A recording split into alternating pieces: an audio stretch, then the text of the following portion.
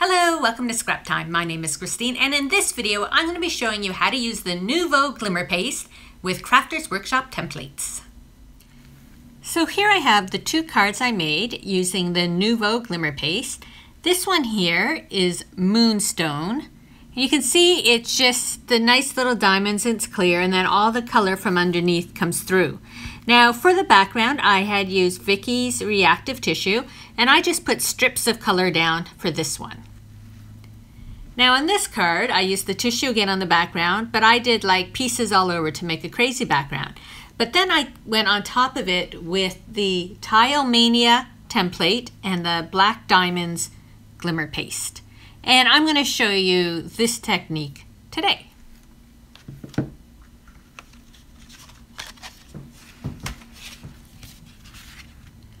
So here we have my card where I mentioned that I had done the uh, Vicki's reactive tissue and I had like little squares of it that I just did color all over the place to make the background. Going to bring in the Tile Mania template and you just place it down wherever you'd like on your card. Going to move it up a bit, maybe like that. So this is the glimmer paste. Has this protective lid. Let me just take it off. It's So the glimmer paste is quite thin compared to other pastes you may have used in the past. So you don't need a lot. So even though it's a small bottle, it should probably last you a bit because you don't need that same thickness that you do with some other pastes. Line it up a little straighter. So then when you put it on, you want to try and rub it off at the same time so you get the most out of your pastes. And you're just filling it in the spots like you do with any other paste that you might be using.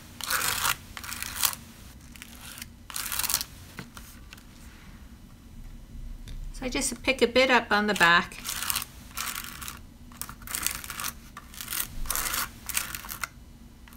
Now with this template, I find there's a couple spots where it opens up a lot, and so you have to be careful.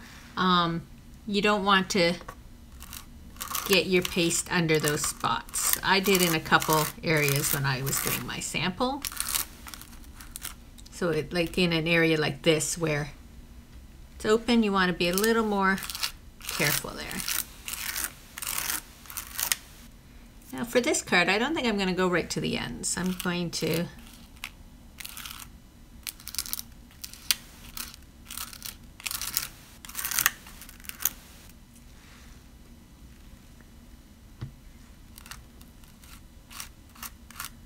just make sure I have it filled in.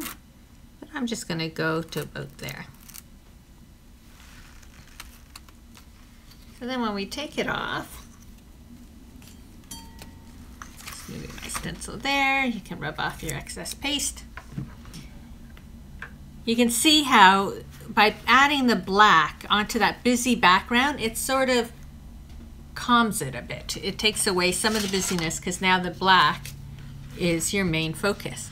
And the paste has this really nice glitter effect if you can see it. It's shiny. Um, there's a little texture to it. But whether or not you can see it on camera, in real life, it's all glitter because it is a glitter paste. So that is the paste and just a couple ways. I'll bring in the original card too that you can use it. Thanks for watching. Be sure to give our video a thumbs up and subscribe to Scrap Time videos on YouTube. In the meantime, here are a couple other videos you might be interested in, in watching. See you next time. Bye-bye.